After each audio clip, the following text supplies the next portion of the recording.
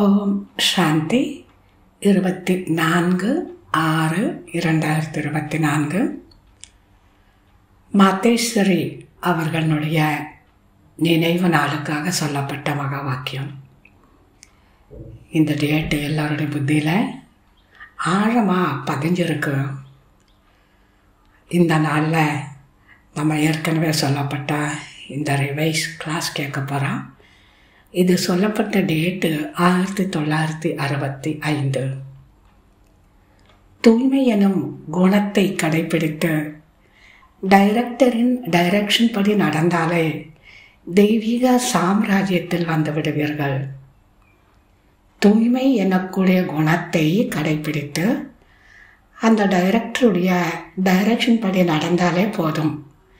தெய்வீக சாம்ராஜ்யத்தில் வந்து விடுவீர்கள். காலை வகுப்பில் படிப்பதற்கான ஜெகத்தம்பாவின் மதுர மகா வாக்கியம். ஓம் சாந்தி. இந்த உலகை நாடகம் என சொல்லப்படுகிறது. டிராமா என்றாலும் நாடகம் என்றாலும் விளையாட்டு என்றாலும் விஷயம் ஒன்றுதான். நாடகம் என்பது ஒரு கதையாகும். இதனிடையில் இடைச்செருகல் அதிகம் காண்பிக்கப்படும். இருப்பினும் கதை ஒன்றுதான். அவ்வாறு இந்த எல்லையில்லாத உலக நாடகம் இதனை டிராமா என்றும் சொல்லப்படும். இங்கு நாம் அனைவரும் நடிகர்கள். நடிகர்களான நமக்கு நாடகத்தை பற்றிய முழு ஞானமும் தெரிந்திருக்க வேண்டும். இந்த கதை எதன் அடிப்படையிலானது? இதன் ஆரம்பம் முடிவு நடிகர்கள் கதாநாயகன் கதாநாயகி யார்? எந்தெந்த நடிகர்கள் எப்போது வருவார்கள்? இதனுடைய இயக்குனர் படைப்பாளர் யார் என்ற முழு விவரமும் தெரிய வேண்டும். இந்த மாபெரும் நாடகத்தின் படைப்பாளருக்கு இதன் முதலும் தெரியும் முடிவும் தெரியும். கதாநாயகன் கதாநாயகி யார்? இதில் முக்கிய நடிகர்கள் யார்? இவை அனைத்தும் தெரிந்த தந்தையே நமக்கு புரிய வைக்கின்றார்.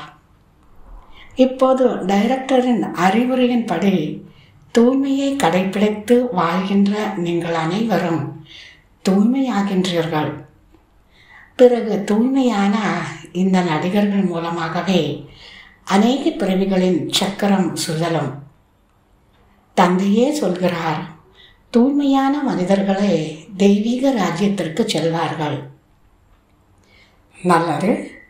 பாப்தாதா மற்றும் தாயின் இனிமையிலும் இனிமையான மிக நல்ல என்றென்றும் அமைதியை அனுபவம் செய்யக்கூடிய குழந்தைகளுக்கு அன்பு நினைவுகள் மற்றும் காலை வணக்கம். நல்லது. சந்தேசி உடல் மூலமாக அல்மைட்டி பித்தா உச்சரித்த மகா வாக்கியம் அதாவது மாத்தீஸ்வரிக்காக. இதில் ஒரு எட்டு பாயிண்ட்ஸ் கொடுத்துருக்காங்க. இவை அனைத்தையும் நாம் புத்தியில் வைத்து செயலில் கொண்டு வருவதற்காக இந்த நாள் நமக்கு கிடைச்சிருக்கு.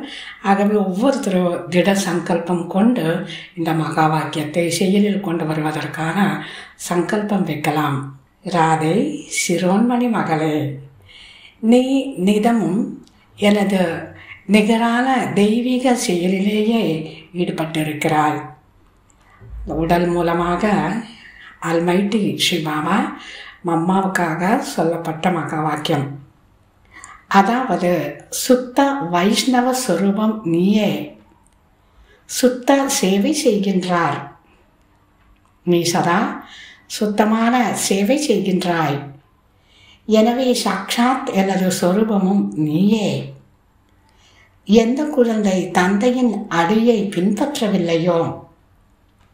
அவரிடமிருந்து நான் விலகி இருக்கிறேன் ஏனெனில் குழந்தை என்றாலே அவசியம் தந்தைக்கு சமமாக இருக்க வேண்டும். இப்போது உருவாகின்ற இந்த விதிமுறை சத்தியுகம் திரேதாயுகம் வரையிலும் நடைபெறுகிறது. இரண்டாவது இனிமையான தோட்டக்காரரின் இனிமையான முயற்சி செய்யும் மகளே. இப்போது நீ மிகவும் ரமணீகரமாக இனிமையாகவும் மாறவும் வேண்டும். மாற்றவும் வேண்டும். இப்போது உலக அரசாங்கத்தின் சாவி நொடியில் பெறுவதும் பெற வைப்பதும் உன் கையில் உள்ளது. மூன்று ஆஹா நீ அதே சக்தியாவாய். தனது ஈஸ்வரிய சக்தியின் வர்ணத்தால் இந்த அசுர உலகை அழித்து தெய்வீக உலகை ஸ்தாபனை செய்கிறாய். பிறகு அனைத்து சக்திகளின் மகிமை வெளிப்படுகிறது. இப்போது அந்த சக்தியை உன்னுள் நிரப்பிக் கொண்டிருக்கிறாய். நீ சதா தனது ஈஸ்வரிய பலம் மற்றும் பெருமிதத்தில் இருந்தால் சதா அளவற்ற மகிழ்ச்சியில் இருப்பாய். நித்தம் மலர்ந்த முகம். நான் யார்? யாருடையவன் என்ற பெருமிதம் இருக்க வேண்டும். நமது சௌபாகியம் எவ்வளவு? எவ்வளவு பெரிய பதவி? இப்போது நீ முதலில் தனது சுய ராஜ்யம் பெறுகிறாய். பிறகு சத்தியுகத்தில் யுவராஜ் ஆவாய்.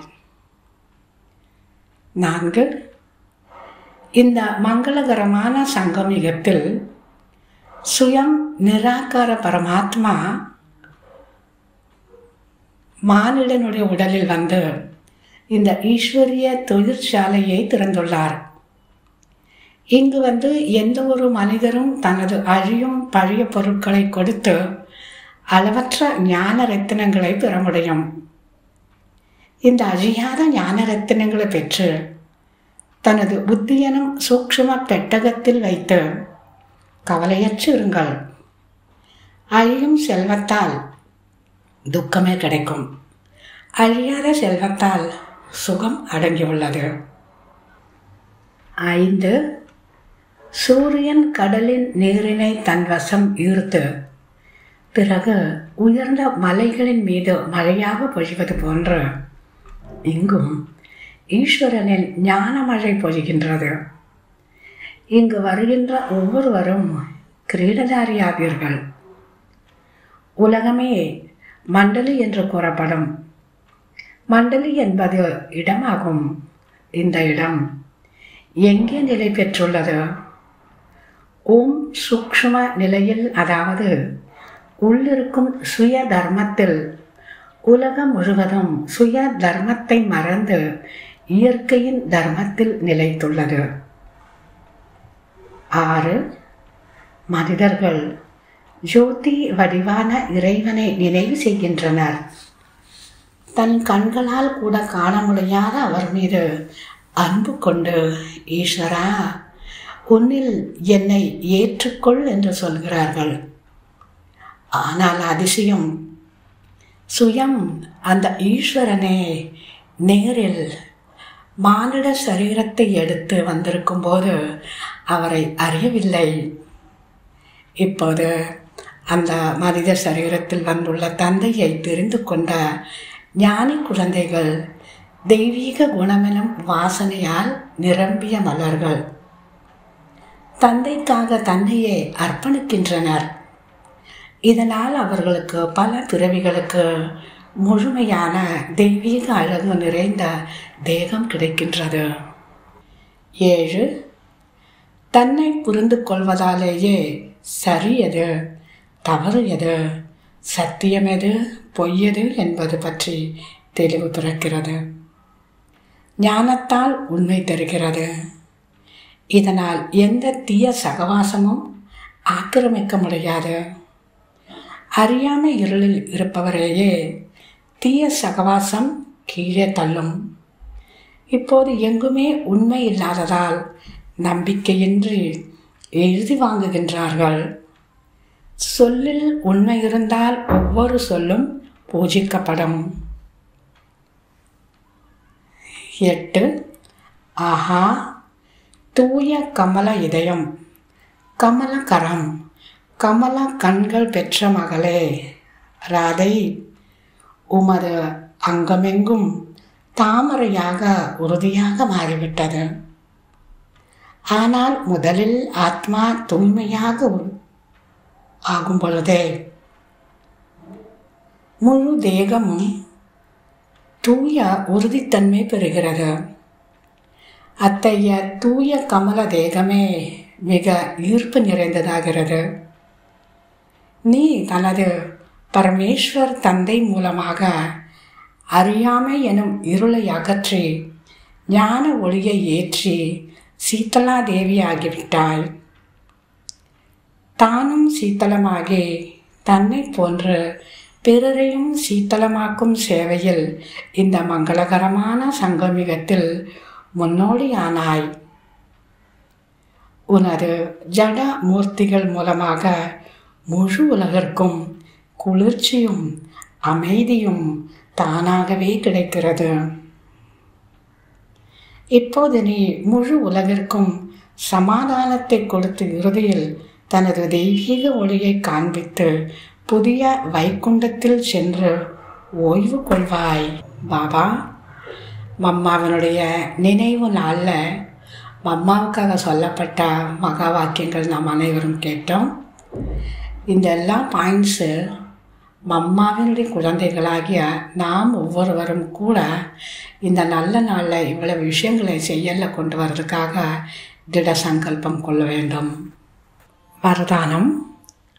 பாபா என்னும் ஒரு சொல்லை சாவியாக கொண்டு அனைத்து பொக்கிஷங்களையும் பெறுகின்ற பாக்கியவான் ஆத்மா ஆகுக. விளக்கம்.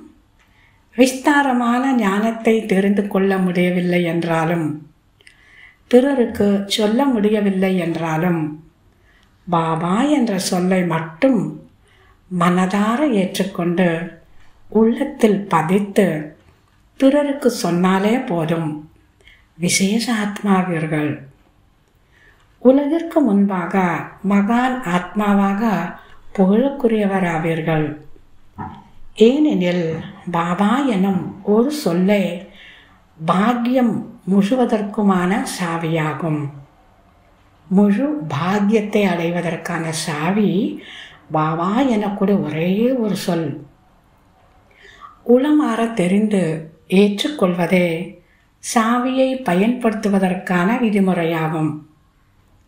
மனதார பாபா என்று சொல்லுங்கள். பொக்கிஷம் அனைத்தும் முன்னால் வந்து நிற்கும்.